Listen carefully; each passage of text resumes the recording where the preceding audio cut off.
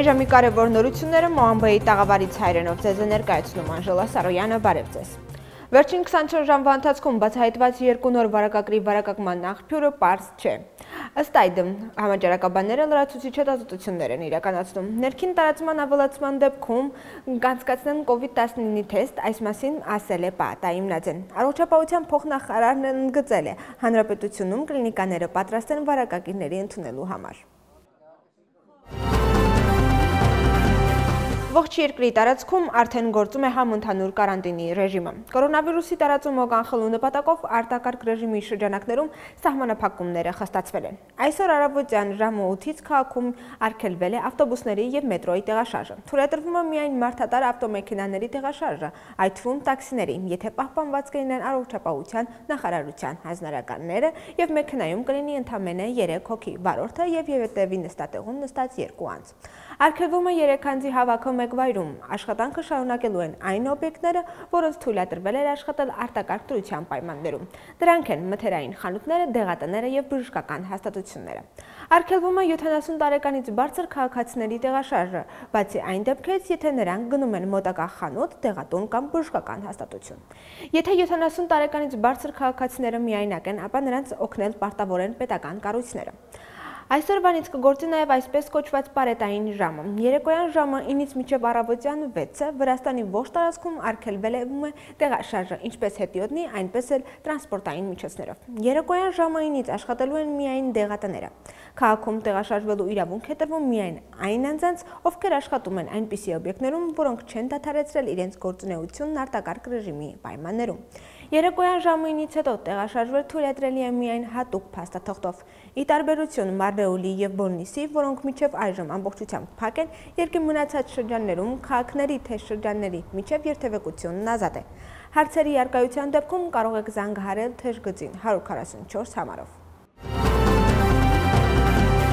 Վրաստանի կառավարության կողմից արտակարգ դրության շրջանակներում միջոցառումների զգալիորեն խստացման մասին ընդունված որոշման պահանջը կատարելու նպատակով ներքին գործերի նախարարության աշխատակիցները սահմանված կարանտինային պահանջները 24 ժամյա ռեժիմում վերահսկում են Վրաստանի ողջ տարածքում։ Համաճարակի մեծ ռիսկի պատճառով անձանց տեղաշարժի վերահսկման եւ քաղաքացիների առողջության վիճակը ստուգելու նպատակով Թբիլիսիի, Բաթումի, Քութայիսի, Ռուսթավի, Զուգդիդի, Փոթի եւ Գորի մուտքերի մոտ տեղադրվել են հսկիչ պահակակետեր։ Ներքին գործերի նախարարության համապատասխան ստորաբաժանումների աշխատակիցները պաշտպանական ուժերի հետ մեկտեղ հսկիչ անցակետերի միջոցով վերահսկում են նշված քաղաքների վարչական սահմանին անձանց տեղաշարժը եւ արտակարգ դրության խստացված պայմանների կատարումը։ Տեղում իրականացվում է նաեւ քաղաքացիների ջերմաչափումը, հայտարարում են ներքին գործերի նախարարությունից։ Գերատեսչության հաղորդմամբ աշխատակիցները տեղի բնակչությանը պարբերաբար մանրամասն կբացատրեն, թե ինչ է նշանակում կարանտինային սահմանափակում եւ անհրաժեշտության դեպքում կօգնեն նրանց։ Հիշեցնենք, որ Վրաստանի տարածքում գտնվող յուրաքանչյուր անձ պարտավոր է ենթարկվել հասարակական առողջապահական ոլորտում գործող Վրաստանի սահմանադրության պահանջներին։ Արտարգակ դրության ռեժիմի խախտումն առաջացնում է վարչական պատասխանատվություն, ֆիզիկական անձի դեպքում տուգանքը 3000 լարի է, իսկ իրավաբանական անձի դեպքում 15000։ Կրկնակի խախտման դեպքում անձը կենթարկվի քրեական պատասխանատվության, որը ենթադրում է մինչև 3 տարի ժամկետով ազատազրկում։ Խիստ վերահսկվում է Մարնեոլիի մուտքը, մունիցիպալիտետ մուտքն արգելված է բացի որևէ առանձին դեպքերի։ Կարանտինային գոտու երկայնքով տեղադրված է 5 հսկիչ անցակետ, որտեղ 24 ժամվա ընթացքում ստուգում են քաղաքացիներին։ Մարնեոլի հատուկ հիմնադանոցում գտնվող 18 պացիենտի մոտ կորոնավիրուս չի հաստատվել, նրանցից 3-ը Բոննիսի բնակիչներ են։ Ինչպես հայտարարել է Մարնեոլի ջեո հոսպիտալցի բժշկական տնօրենը, այս փուլում հիվանդանոցում գտնվում է 13 պացիենտ, որոնցից ոչ մեկը կորոնավիրուս չունի եւ նրանց առողջական վիճակը բավարար է։ Մարնեոլի մունիցիպալիտետում արդեն ստուգվել է 83 հազարից ավելի մարդ։ Բժիշկները շարունակում են դռնեդուր ստուգել բնակիչների առողջական վիճակը։ Իսկ կամավորական խմբերը ծանոթանում են բնակչության կարիքներին։ Մունիցիպալիտետում տեղակայված հատուկ հիվանդանոցում շարունակվում է պացիենտների ընդունումը։ Այսօր Բորնիսի մունիցիպալիտետում սոցիալապես անապահովներն կստանան սննդամթերք։ Տեղական ինքնակառավարման մարմնի անդամները նշում են, որ օգնություն կստանա մոտ 550 ընտանիք։ Զուգահեռաբար առողջապահական խմբերը շարունակում են դռնեդուր ստուգումները, որի արդյունքում արդեն ստուգվել է ավելի քան 31400 անձ, իսկ ինքնամեկուսացման անձանց թիվը հասել է 350-ի։ Միևնույն ժամանակ սպասում են երկու պացիենտի անալիզի պատասխաններին, որոնք հիվանդանոց են տեղափոխվել նախորդային։ Մուտքը կարանտինային գոտի կրկին խիստ սահմանափակված է։ 4 հսկիչ անցագերտ է գործում նաև Ռուսթավիում։ Արավոտից խստորեն ստուգվում են բոլոր մեքենաները։ Մոբիլիզացված են իրավապահներն ու պաշտպանության գերատեսչության ներկայացուցիչները։ Հատուկ վերահսկողություն է իրականացվում Մարնեոլի այսպես կոչված հսկիչ շտաբերում, որտեղ միայն բացառիկ դեպքերում են թույլատրվում մեքենաների տեղաշարժը։ Իրականացվում են նաև ախտահանման աշխատանքներ։ Երկրի մասշտաբով ժամանակավորապես դադարեցվում է տարադրամի փոխանակման կետերի եւ միկրոֆինանսական կազմակերպությունների աշխատանքը, որոշումն ընդունել է ազգային բանկը։ Վրաստանի կառավարության որոշմամբ այսօրվանից երկրի մասշտաբով դադարեցվում են աշխատանքային գրասենյակներից վար տվող սուբյեկտների, տրավադրամի փոխանակման կետերի, վարկային միությունների, հարկային ծառայությունների մատուցման, արժեթղթերի անկախ գրանցողների, ակտիվներ կառավարող ընկերությունների, կենտրոնական դեպոզիտորների, մասնագիտացված դեպոզիտորների, ֆոնդային բորսաների, ոչ պետական կեսաթոշակային ցանցի հիմնադրամների, վարկային լրատվական բյուրոյի աշխատանքը։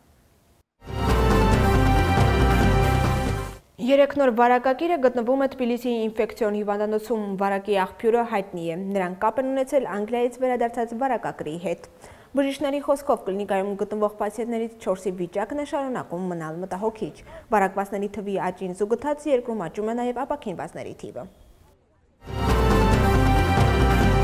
Վրաստանի փոխվարչապետ Մայացկի Դիշվիլին պարզաբանում է, որ խոստացված միջոցառումների պահպանումը մարդկանց առողջության եւ կյանքի պաշտպանության համար շատ կարեւոր է եւ այս գործընթացում յուրաքանչյուր քաղաքացի պետք է կրի մեծ պատասխանատվություն։ Արտակարգ դրության ռեժիմի շրջանակներում ընդունված նոր սահմանափակումների պահպանումն ապահովում են ներքին գործերի նախարարության ներկայացուցիչները։ Ցանկացած քաղաքացի տեղաշարժվեց իր հետ պետք է ունենա անձը հաստատող վկայական։ Վրաստանի կառավարությունը ստեղծել է թեժգից, քաղաքացիները կարող են զանգահարել եւ ստանալ բոլոր հարցերի պատասխանները։ Զանգն անվճար է։ Ինչպես հայտարարել է Վրաստանի վարչապետ Գյորգի Գախարյան, թեժգտնի համարն է 144։ Հիշեցնենք, որ համընդհանուր կարանտինի ռեժիմն ուժի մեջ է մտել այսօր առավոտյան ժամը 8-ից։ Եվ վերջում, կրթության նախարարությունը հզորացնում է հերաբար ուսուցման մեթոդները։ Այսօրվանից գերատեսչությունը հանրային դպրոցներին առաջարկում է վրացական արցանց ուսուցման առաջին Fit Edus հարթակը, որը հաղորդակցման այլ ընտրանքային տարբերակներից մեկն է։ Նշված հարթակը բացառապես անվճար է, հրաշալի աշխատում է ցանկացած սմարթֆոնի վրա եւ չի պահանջում գերարագ ինտերնետ։ Միջգիրատեսչական համակարգող խորհուրդը կրթության նախարարությանը հանձնարարել ուժեղացնել հերաբար ուսուցման մեթոդները։ Այժմի համար նախատեսել էինք այսքանը, իսկ դուք մեկ TV.j կայքում հայ լեզու բաժնում դրա հոսին կարող եք հետևել 24 ժամվա ընթացքում, իսկ մենք միմյանց կհանդիպենք ժամը 20:00-ին։ Առայժմ